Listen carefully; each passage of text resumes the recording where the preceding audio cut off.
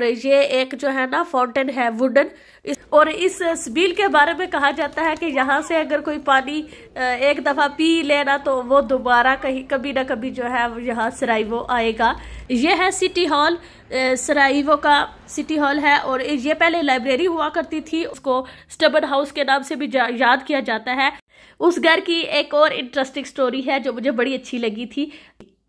ये Latin bridge है और ये भी काफ़ी पुराना है ऑटोमन दौर का ब्रिज और सब बड़े एक्साइटेड थे केबल कार के लिए तो अब हम जो है ना केबल कार में ऊपर जा रहे हैं। और ये है सनसेट का व्यू बड़ा ही प्यारा और खूबसूरत सा व्यू है, माशाल्लाह से। अस्सलाम वालेकुम वेलकम टू दिस वीडियो तो आज जो हमारा दूसरा चक्कर है tunnel tunnel of the hope के के लिए तो आज देखेंगे कि आज चांस मिलता है हमें कि नहीं। कि कल हम जब आए थे तो उस वक्त बंद हो गया था, लेट हो गए थे, आज हम दोबारा आए हैं। तो सराइवो के अगर आपने पिछले व्लॉग्स नहीं चेक किए तो ज़रूर चेक कीजिएगा, बहुत ही इंटरेस्टिंग इन्फॉर्मेटिव और मज़े के व्लॉग्स हैं। आई होप कि आप इन्जॉय करेंगे। तो आज जो है ये लास्ट व्लॉग है सराइवो का, उसके बाद जो है हम जो है मोस्तर जाएँगे। तो वहाँ पर जो, वहाँ की चीज़ें हैं वो एक्सप्लोर करेंगे, क्या कुछ है वहाँ पर। तो आज जो है ना टनल ऑफ़ होप देखते हैं।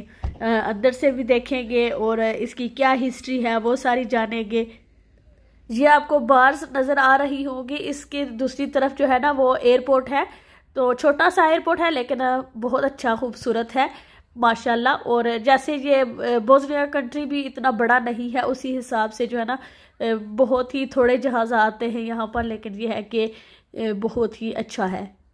और एरिया ये वाला बहुत अच्छा क्वाइट एरिया है और कच्ची पक्की और छोटी छोटी गलियाँ भी हैं। बिल्कुल जो विलेज वाइब्स होती है ना, वो यहाँ पर आपको मिलती है और बहुत ही प्यारा है ये जो इलाका है।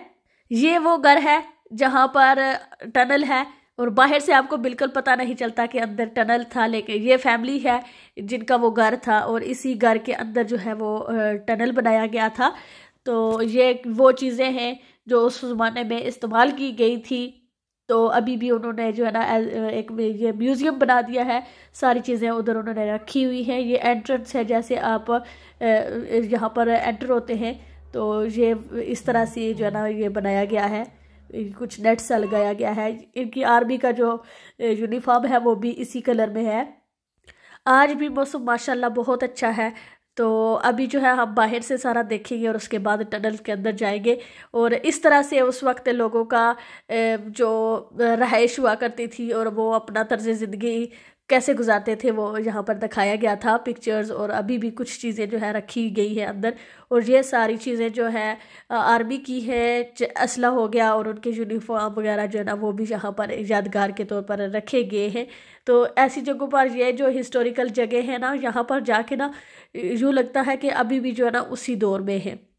अजीब सी जो है वो उदासी वाला माहौल है यहाँ पर। और यहाँ पर ये छोटी सी एक शॉप है, यहाँ से आप चीज़ें ख़रीद सकते हैं। यहाँ पर जो है ना, काफ़ी चीज़ें जो है ना, वो बनाई गई हैं, जो आप देख सकते हैं। मैं बाहर से दिखाने की कोशिश कर रही हूँ ग्लास है तो इसलिए जो है ना, अच्छे से नज़र नहीं आ रहा। बाद में गई थी अंदर, लेकिन उस वक्त मैंने यहाँ पर कोई क्लिप नहीं लिया।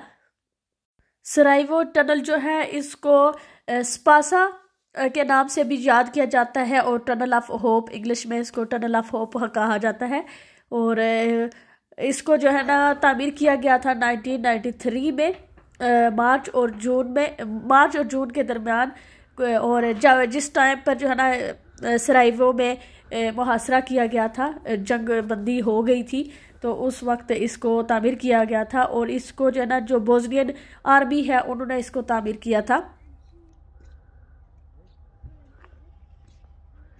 ये देखिए कितना ज़्यादा डैमेज हुआ जंगों में।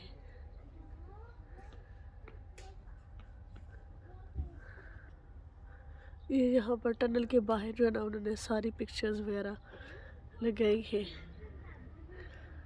ये बच्चा देख रहा है देखें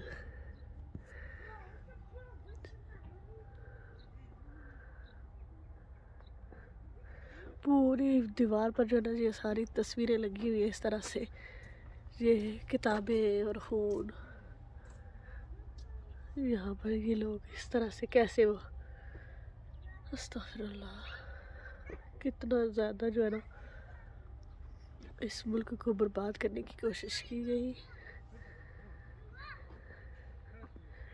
ये टनल काफ़ी बड़ी थी और ये निकलती थी जो हमसाए थे, सराइवो के हमसाया दोबरीजा और बुतमीर थे, वहाँ तक जाती थी और इसको जो है ना नाम दिया गया था डी बी और खाने पीने की अशिया और जितने भी जंगी सामान, असला वगैरह होता था और तिबी अमदाद वगैरह, वो सारी इसी रास्ते से शहर में दाखिल होती थी और जो लोग बाहर निकल पाते थे, वो भी इसी रास्ते से निकलते थे। तो ये जो टनल है ना, इसका बहुत बड़ा पार्ट था। जो आर्मी को आर्मी की जो चीज़ें असला वगैरह चाहिए था, जो उनको डिफेंड करने के लिए चीज़ें इस्तेमाल करनी पड़ती थी ना तो वो सारी इसी रास्ते से आती थी। और जैसा मैंने पहले बताया है कि ये आर्मी ने बनाया था तो इसी वजह से ना, उस वक्त जो है सराइवो में जो है ना सीज ऑफ़ सराइवो हो चुका था तो फिर ना और कोई रास्ता नहीं था बाहर जाने का और ये वाहिद रास्ता था और जिसकी वजह से उस वक्त जो लोग सरवाइव कर पाए थे, वो इसी वजह से कर पाए थे। जैसे स्टार्टिंग में मैंने पिक्चर दिखाई थी कि ये किसी का घर था, ये फैमिली है वो जिनका घर था और इन लोगों का ना बहुत ज़्यादा पार्ट था। आज अगर ये सराइवो टनल जो है बनाया गया है म्यूज़ियम तो ये इनकी वजह से था। उस वक्त इतनी, इस पर तवज्जो नहीं दी गई थी। तो जो है, घर के ओनर जो है, उन्होंने जो है ये सारी चीज़ें, जितनी भी उस टनल को बनाने में इस्तेमाल की गई थी और जिन लोगों की डेथ हुई, वो उनके यूनिफॉर्म वगैरह, जितनी चीज़ें यहाँ पर रखी गई है ना, वो उनकी अपनी मदद आप के तहत उन्होंने वो सारी चीज़ें एज अ मेमोरी रखी थी। क्योंकि जंग के जो है ना ये वो लोग थे जो शामिल थे। तो उनके लिए ना एक, ये एक मेमोरी थी। उन्होंने ये सोचा था कि ये हमारी हिस्ट्री है तो हमारे बच्चों को ये हिस्ट्री याद रहनी चाहिए, भूलनी नहीं चाहिए। टनल के अंदर लकड़ी का काम किया गया है और मेरे जितने लोग तो आराम से यहाँ सीधे खड़े होकर चल सकते हैं, लेकिन थोड़ा सा ऊँचा बंदा हो ना तो फिर जो है ना आप सीधे खड़े नहीं हो सकते। और काफ़ी जो है डर भी लग रहा था। अब तो ये लाइट्स वगैरह लगी हुई हैं, आराम से आप जा सकते हैं। नीचे आप देख रहे हैं कि लकड़ी का जो है ना वो काम है और साथ में जो है रेल सी बनाई गई है। तो यहाँ पर एक वो, एक जैसे ट्राली सी नहीं होती, वैसी ट्राली थी। तो वो यूज़ की जाती थी, जो चीज़ें बाहर से लाई जाती थी, इस तरह से जो है वो। और पाइप भी लगे हुए थे ताकि जो ना पानी वगैरह कोई जो अंदर ना आ सके। और बाकी जो डैमेज हुआ था वो भी इसी वजह से फ्लड वगैरह होते रहे और ये डैमेज हो गया है। काफ़ी ज़्यादा अब तो सिर्फ़ ये आई थिंक ट्वेंटी मीटर जो है इसको खुला रखा गया है। सिर्फ़ विजिटिंग के लिए और एज अ म्यूज़ियम इसको सेव किया गया है। बाकी जो है ना अब वो सारा ऑलमोस्ट ख़त्म हो चुका है। अब हम जो है टनल से बाहर आ चुके हैं। तो जो सराइवो टनल का म्यूज़ियम है, वहाँ पर एक छोटी सी अट्ठारह मिनट की फ़िल्म भी दिखाई जाती है और जंगों की तस्वीरें, फ़ौजियों का असला, झंडे, फ़ौजियों का यूनिफॉर्म और इस तरह की बहुत सारी चीज़ें आपको यहाँ पर देखने को मिलती हैं। और जितनी भी उस ज़माने में तिबी इमदाद कैसे की जाती थी, वो भी सारा दिखाया गया था। ये चीज़ें जो इस्तेमाल करते थे उस ज़माने में और जब टनल बनाया जा रहा था तो जो जो चीज़ें इस्तेमाल की गई वो सारी यहाँ पर रखी गई हैं यादगार के तौर पर। जंगों को ख़त्म हुए, अभी इतना अरसा नहीं हुआ। जैसे मैंने शुरू में बताया कि इसको, ये जो टनल है 1993 में बनाया गया है तो इतना ज़्यादा अरसा नहीं हुआ। अभी भी बहुत सारे लोग उस वक्त जो सरवाइव किए थे, अभी भी मौजूद हैं। तो एक मैंने डॉक्यूमेंट्री देखी थी, उसमें वो है, लेकिन यह है कि यहाँ पर आप बाहर जब घूमते फिरते हैं, यहाँ के जो लोकल लोग होते हैं ना, उनके चेहरों पर अभी भी एक उदासी सी है। लाइक जो लोग यूँ लगता है कि वो अभी भी उसी जो वो लम्हे थे ना, वो अभी भी उससे नहीं निकले। टाइम लगता है चीज़ों को भूलने में। वैसे भी आपकी लाइफ में कोई छोटी मोटी इस तरह की तलही हो जाती है तो आपको वो याद रह जाती है, लेकिन ये इस तरह की चीज़ें थी। हर तरफ़ आग, खून, खराबा और लाशें और बच्चों की, बड़ों की और इस कंट्री में जो है ना, बहुत ज़्यादा जुल्म किया गया था बच्चों, औरतों के साथ। बहुत ज़्यादा ना। तो अब जब सिर्फ़ हम देख रहे थे तो तब भी जो है ना वो यूँ लगता था कि हम उसी ज़माने में चले गए हैं। और जो पिक्चर्स लगाई गई हैं, वहाँ पर दिखाया गया है कि खाने पीने की चीज़ें नहीं मिलती थी और भूख की वजह से लोग बहुत ज़्यादा लागर हो चुके थे। ये सारा जो है ना, मैप बनाया गया है। ये एयरपोर्ट है और एयरपोर्ट के नीचे से गुजरती है टनल ये येलो लाइट जो नज़र आ रही है, ये टनल है। तो ये और एयरपोर्ट के नीचे से गुजरती है। आप ऊपर से ये एयरपोर्ट जो है ना, वो नज़र आ रहा है। ये भी बड़ा ही खूबसूरती के साथ और बहुत ही प्यारा बनाया गया है। ये रोड है साथ में तो ये पूरा एरिया दिखाया गया है कि कहाँ से शुरू होती है और कहाँ पर जाकर ख़त्म होती है। सारा डिटेल में यहाँ पर इस मैप में दिखाया गया है। अगर आप इंटरेस्टेड हो तो आप विकीपीडिया पर जाए ना तो वहाँ पर इसकी पूरी हिस्ट्री मिल जाती है। पूरी डिटेल में आप वहाँ पर देख सकते हैं। टनल भी देख लिया है और म्यूज़ियम भी हमने चेक कर लिया है, देख लिया है।